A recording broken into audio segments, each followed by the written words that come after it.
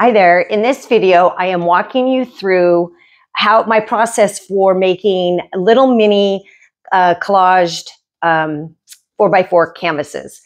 And I take basically just paper that I have done um, mark making on, quick sketches, like faces and things like that, but nothing, um, nothing too crazy or difficult. And basically by cutting them down, I work on little sheets larger than four by four. Then I cut them down and then collage them on to uh, the four by fours.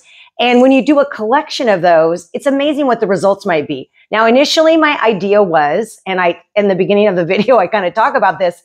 I plan to do all faces because I have done this before and, and I did a mixture of faces and um, different mark making and collage things, kind of similar to these ones back here, which I think are six by six. But what I realized when I laid it out, laid out the ones that I, I kind of started, and, and I'll demo some of that for you, the, quick sketches that I do. But um, I realized I think what I wanted, the look I was going for, is not, um, it was a little, they were a little too small. So I think I might try it again, but I would I'm going to either go six by six or 10 by 10. And I think a collection of those um, would be really cool. But I think the four by fours were just too small for me. And it's just like the faces kind of got lost in their, their smallness. Um, so, but I do like them mixed in with the other abstract kind of forms and, and marks and things like that. So I do like having the mix, but I decided not to just do pure uh, faces for this one. And I think that's part of, you know, like this creative journey is you, you, you head one way and then you have to pivot sometimes because it doesn't, it isn't actually the way that you wanted to go. So anyway, I hope that you will give these a try because honestly, those little four by four canvases, they are very inexpensive.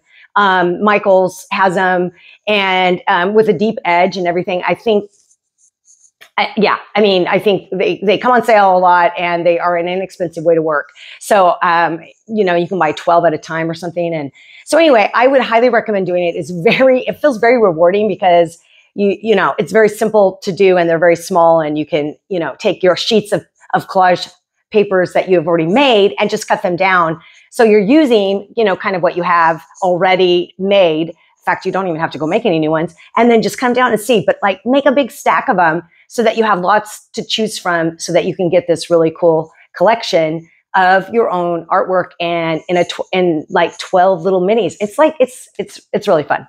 So anyway um, i hope you give this a try and if you do let me know how it goes and um, anyway let's get started.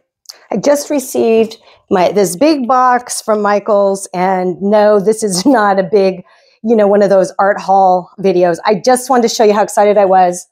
Although the box has some tears on this side.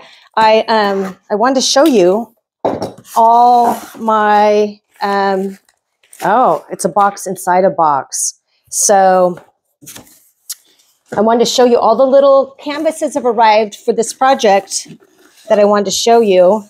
I have um, four by four canvases and I want to say I have 50. So it's super exciting because I'm going to do this big. I've done this before uh, in abstracts.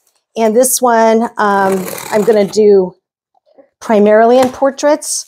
And so I'm super excited to get started. And they are just the Loft, Artist Loft brand, which is kind of a lower end brand, but they are the deep edge. They are the, I don't know if you can see that.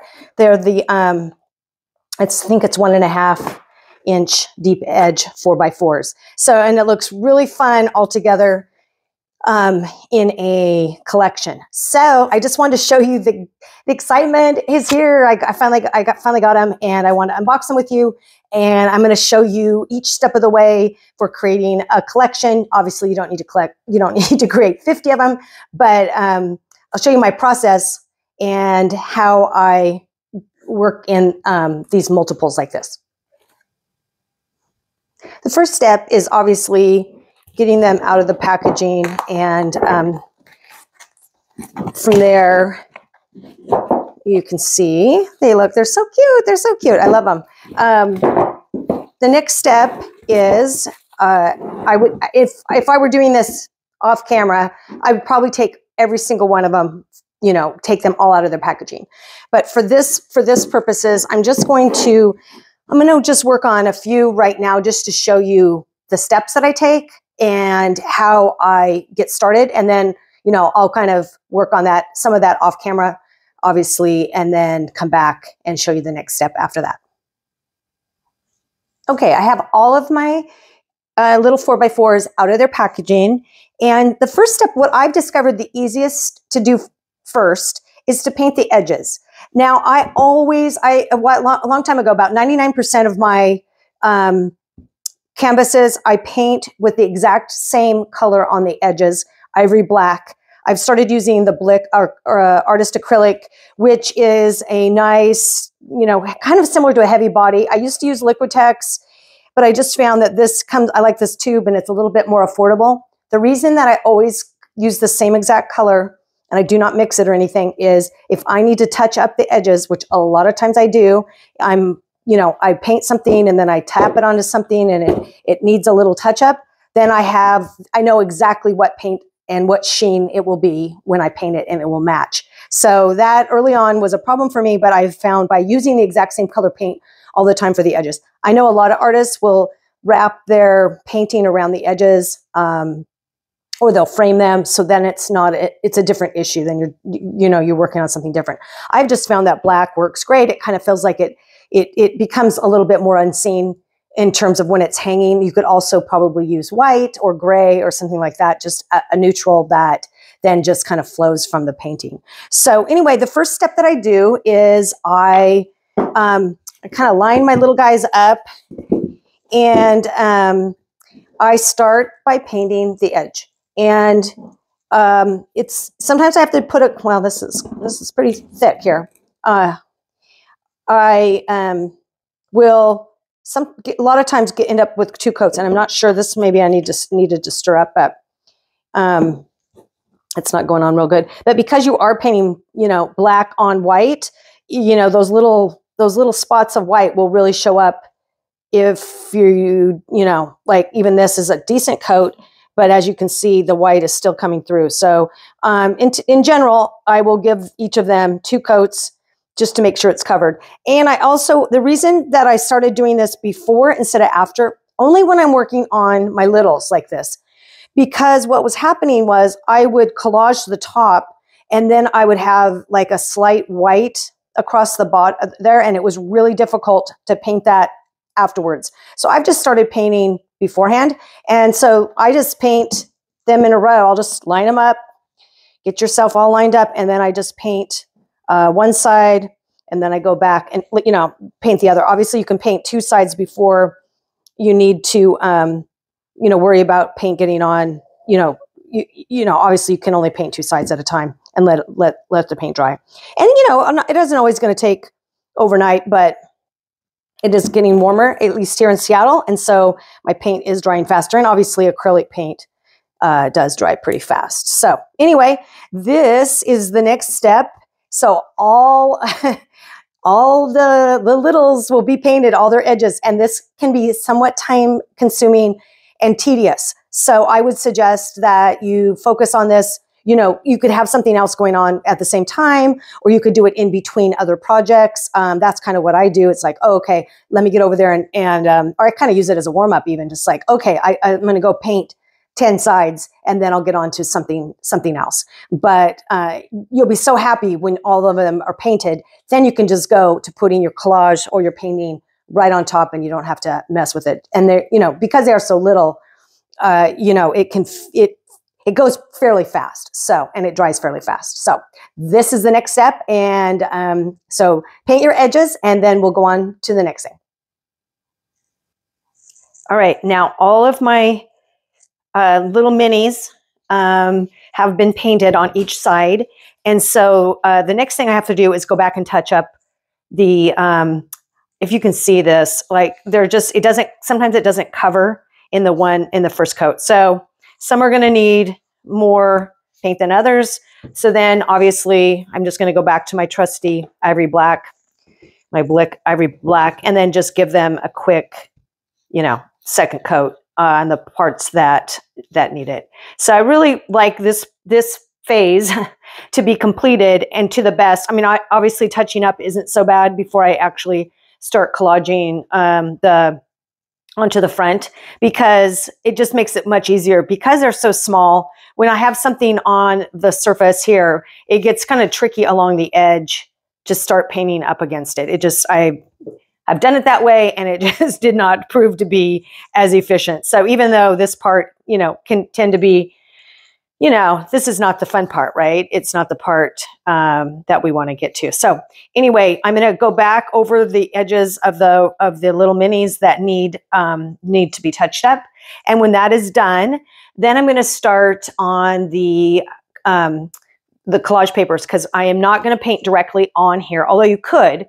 I had uh, the last round that I did. I had so much fun. I had made all these different these ones with a lot of different um, uh, random marks and book paper showing through and all these different things and then you know just collage them onto this this surface and then i could cut them down to fit this size so i tend to work a little bit bigger and then cut them down to fit onto this and it just it's just it turns out great and it takes away this is a really small for me to work on. But if i work bigger and then cut it down to fit this i get a better result. So if you if you like painting directly this tiny that's that's good. But i i, I I'm going to paint on a different uh, substrate, book paper, um, deli paper, different th- materials like that, and then you know just adhere those to here. So anyway, back to what I'm actually working on, which is finishing up these edges, and then we will come back and um, I will show you how I'm going to start uh, making my my uh, portraits. Before I get started, I have uh, gessoed with clear gesso oh my gosh, so many pages. I I'm so glad I did this when I just sometimes if I don't have anything, I just I don't feel creative. Even if I just grab my gesso and start putting it on these all these book papers, then um, when I when I am in a creative space, I can just grab my paper and start sketching on top of it. But basically, when I want to show you how I do that, I just have a stack of of old papers. Now, of course, I'm going to want to make sure that um, you know, that it's going to wide enough. When I cut this down, you know, it's going to fit. I'm just going to cut it four by four, which is the size of this. But if your paper is too small, obviously you can't cut it down. And I want to work slightly larger so that I can cut that, uh, cut that down and have that image on here. So this gives me room to kind of be a little more expressive versus if I'm working on this tiny piece, I get really tight. So, well, actually, I don't think I've ever done anything on this kind of a tiny piece. But, you know, there are people who are really good at, you know, like miniature art, but that is not me. Um, so I work larger and then cut it down to fit. So you want to make sure your paper isn't cut too small. Now, what I have also found when, with collage paper is the thinner, the older, the better. This stuff is really old and it's gonna it just almost melts down onto uh, when I when I use uh, matte medium to collage it onto the uh, the canvas. So um, I'm using you know papers that are a little bit older, a little bit you know big enough the big a big enough size. So um, anyway, I just want to show you how I quickly do this, and I'm probably gonna just use i'm gonna just put it straight on here. Um, you know you don't you don't have to do that but it uh, makes it a little bit easier and then you're not wasting any. And you can kind of see in this case the the uh, paper is really absorbing which would which is what it would do with your paint or your um, your water or whatever it is that you put on there. So this pro provides protects the surface not protects it but it basically adds a layer so that when you put paint on, it's not as absorbent as it would be otherwise. So as you can see, it's just a a quick layer. It's not like it, there's any right or wrong way to put it on. You can, um, you know, put as much or as little on there as you want.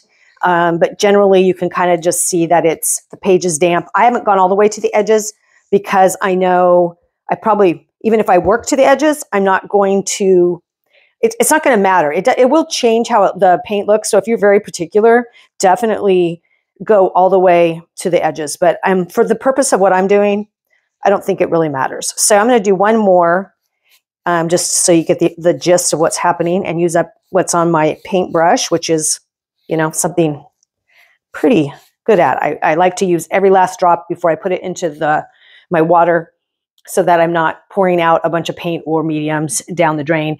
And if I don't have a paper in front of me, then I definitely will clean off my brush in an art journal or on a random piece of paper or something. You can also just have a paper towel at the ready. But again, I'm trying to use less. I use rags more than I use paper towels. I just, I don't, I, I don't want to have a lot of waste when I'm making my art. I'm a real big proponent of, you know, using up what you have and then not creating a lot of waste around it. So of course I do, but to the degree that I can limit that, I, I try. So anyway, that's your next step. And then, um, then we're going to get on to sketching um, out some simple, fast, these are going to be fast uh, uh, portraits that we're going to put on our littles. For these first ones, I am going to, well, I guess I'm showing you this. Um, I have a box full of reference photos that I have just printed out in black and white.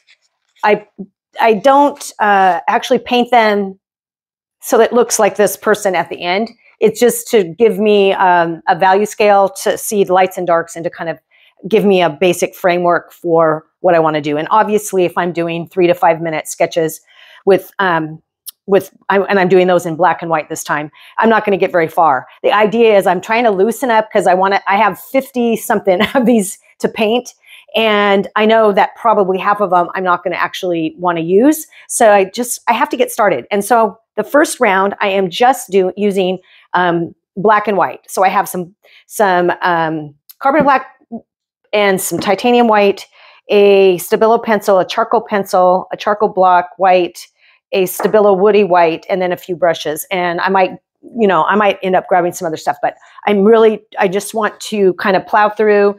I'm just painting on um, book paper this time, although I guess I could grab, I could grab some uh, deli paper, but I think I'm just gonna, because I'm just getting started, I think I'll just uh, work on this today. And then um, maybe the next round I'll bring in some deli paper. Now I say that and I'm like, eh, maybe I'll bring in the deli paper this round. I don't know.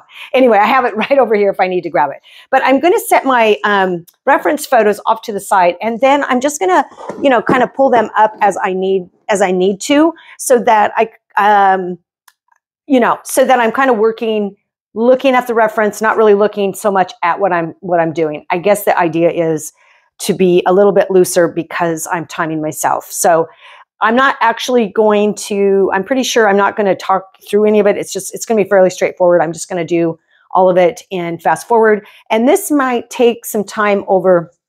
I'm not going to do 50 today, obviously. So I, I you know, this is going to take um, doing, you know, over a series of days. So probably I'll try to video as much of it as I can. This is obviously round one, and then I'll just keep going. And at the end, um, I'll kind of show you the next process after after I've gone through this.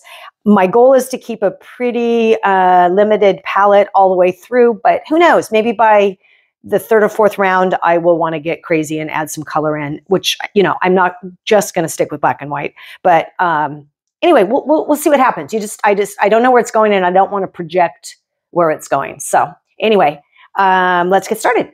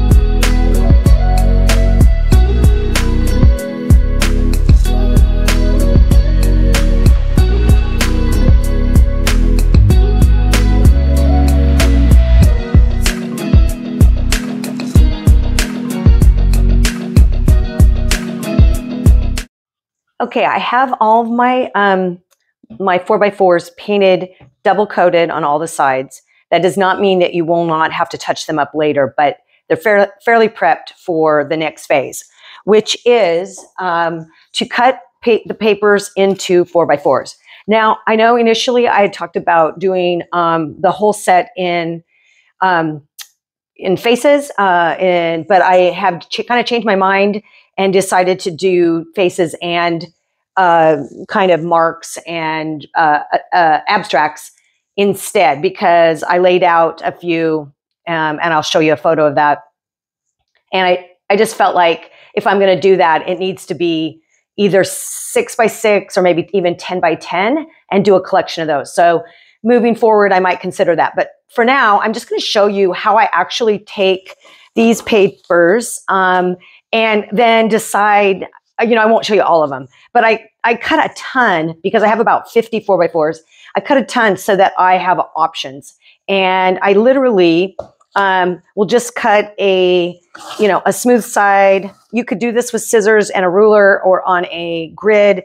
Um, but I have found the best luck is, you know, obviously using this, this rotary cutter. So for, from here, I would just, you know, line it up with the, on the four inches, pull it, and then uh, another four inches. It's just super fast. So right out of the gate, I have one, you know, that I like. So I'm going to show you one that's a little trickier. And then I'll do a few of these and just put it in fast uh, so like this one, I might want to choose what section. So I might carefully go around and trim the edges. And then I can decide, okay, so in this paper, in this case, you know, the width is narrow, so I'm not going to have a lot of options, but where, what part do I like the best? And I do kind of like how this is going off. I do kind of like the squiggly part in the middle. So, you know, do I want this as my main part? or do I want to kind of capture a little bit of this? So I'm, I'm just going to kind of cut it a few times and then make some decisions about where I want it to go. So let's take a little bit more off down here. And think I'm going to just continue to take it off there. So as you can see, you know, you get to make choices from based on the, the main um, photo that you have. Wh what parts do you want to keep and what parts do you not want to keep? So something like this, for example, I'm not really sure. So again, I'm just going to trim the edges and um, again, being cognizant of the, the, the, you know, your, your width, which is your narrow part. Um, and then, you know, obviously lining it up straight. So this is kind of what I'm left with. I'm thinking I like this part up here better. So I'm going to cut that part off. Um, I'm just going to keep making decisions based on that. I'm going to cut a little bit more off down here. Uh, see what it looks like at the four. I might just go for it. Okay. So this is what I'm left with, kind of a check. And I like that. So I'll set that aside as well. So I'm going to do a few of these, you know, and fast forward just so you can get the idea of it. And even maybe one of these faces, because obviously cutting that down. And then uh, I'll show you the next step.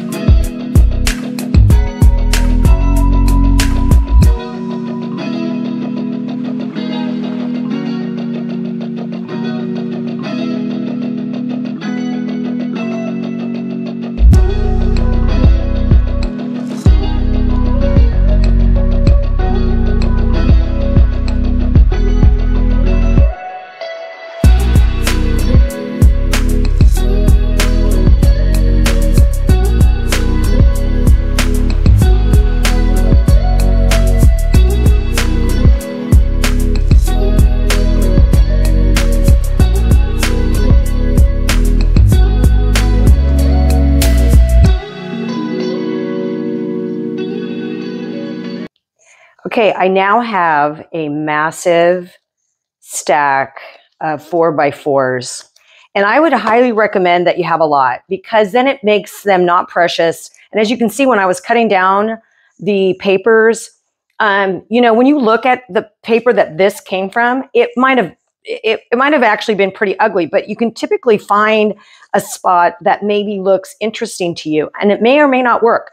I will say some of these are from the prior um, round of these little ones that I made, and I kept, I, I just held on to them. So I'm going to show you kind of just with this small section that I could get on camera. I'm going to show you kind of how I start laying them out and how I make decisions. Um, a lot of times, obviously, I have, you know, like three times this amount, but I just kind of wanted to give you an idea. So let's just say I wanted to start with some faces. We'll just use these as an example. Um, I might, then I might just kind of put the other faces aside. And then I might go, okay, what goes with this one? There's another face. Um, and just kind of build up from there, uh, making decisions. Now, does that mean, and if I see that the blue doesn't really go, maybe I skip that one for now. Um, maybe I like this face better than that face. Maybe I want to have one more face. Let's grab that one back. Or maybe this lighter one, kind of a little more unique.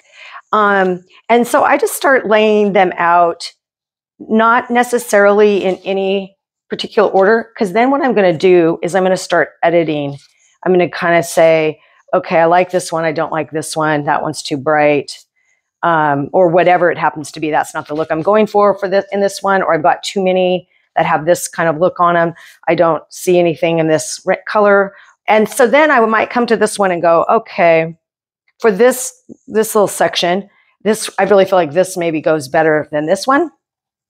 Um, and for this, maybe I say I want I don't want something that's kind of representational. I want to keep them more abstract, and the only thing is the faces, you know. Or I have all this color, so I'm going to take this face out, and I'm going to add I'm going to add some green. So maybe I do bring this one back in. So anyway, it's a lot about going back and forth and choosing and and picking what looks best all together. Um, I typically put together uh, sets of nine, um, although I think all 50 would look so cool if you were to, you know, if there was to be a, a, a wall big enough to, you know, to have that. But you can kind of see from here, I mean, obviously, there's so many choices. Here's another green one. So maybe I want to swap this one for the green because I got green going on up there and maybe I want to swap this for that.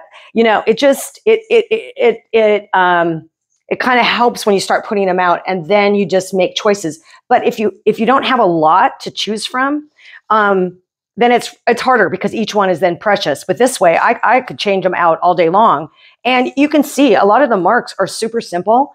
And so by itself, it's nothing. But then if I were to put it, you know, if I put it here with this, it, it kind of comes to life a little bit more. So I think these are really fun in that um, the canvases are relatively inexpensive and you know working on you know book paper like this is very inexpensive and i would recommend you could work on anything and i think i had mentioned in a prior one um, working on the deli paper which i'll grab a sheet just for the sake of of showing you um, it's like this it's this really thin paper i will say with my rotary cutter it's very difficult to cut this. So you might have, uh, I, I, found you could, I could do it, but it's very time intensive and I do not come out, I do not have the best results cutting it like that. So um, if you're using scissors or something, it, it, cuts fine and it's really easy. And it is very easy to, um, to, you know, to collage down. But anyway, I would definitely recommend using thinner paper. It just makes it an easier result and it, and it collages a lot easier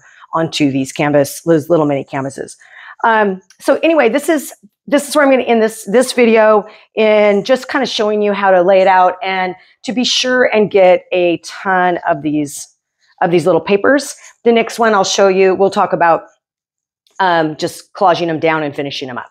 So when I collage these down, I'm just going to show you a few, maybe only even one for the sake of example. I um, because my paper is so thin, I'm working on vintage book paper. Most of this is, uh, all of this is. Um, it, it, will lay down really nicely. So I'm going to grab a piece of deli paper here. So I should have done that before I started. I'm just going to lay it down here with my matte medium.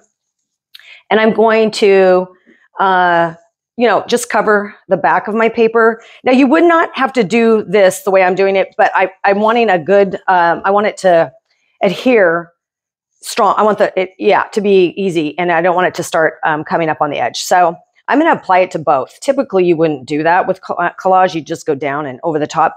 But I'm not going to go. I'm not going to go over the top on this because I want it to.